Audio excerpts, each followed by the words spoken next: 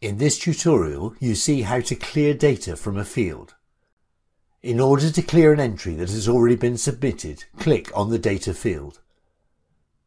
Click Reset Item Values. The value has been cleared. In order to submit the change, you must first enter a reason for the change or select one from the Reason for Change drop-down list.